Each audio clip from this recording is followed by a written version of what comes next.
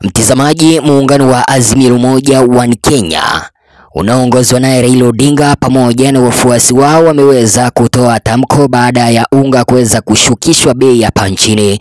Mtazamaji wa Sam TV, tamko la kushuka kwa bei ya unga liliweza kutolewa na msemaji wa ikulu kuu Bwana Hussein Mohamed siku mbili pekee baada ya mahindi makavu kutua upande wa poti ya Mombasa. Kupunguzwa kwa bei ya unga hapa nchini imekuwa ni ajenda kwake Raila Odinga ambaye amekuwa akidedea kuweza kutetea Wakenya wasije wakaumia.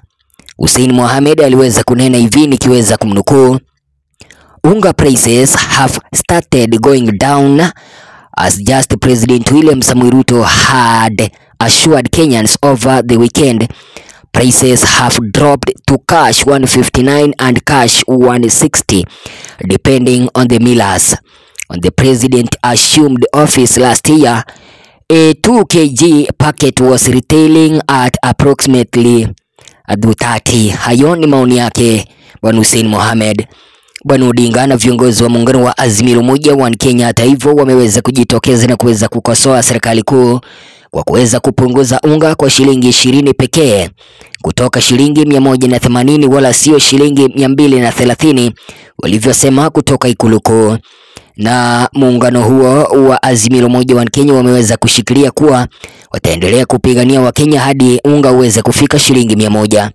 Chapisho lake Hussein Mohamed upande wa Twitter limeweza kupata maoni mengi ya mashambulizi kutoka kwa Wakenya ambao waliweza kusema kwamba, nikiweza kunukumu wawili wawili hivi, mmoja anaitwa Kinyi Abongo aliweza kusema kwamba Hussein, hata wewe umeweza kuingia uh, bandwagon ya kuwa uh, muongo.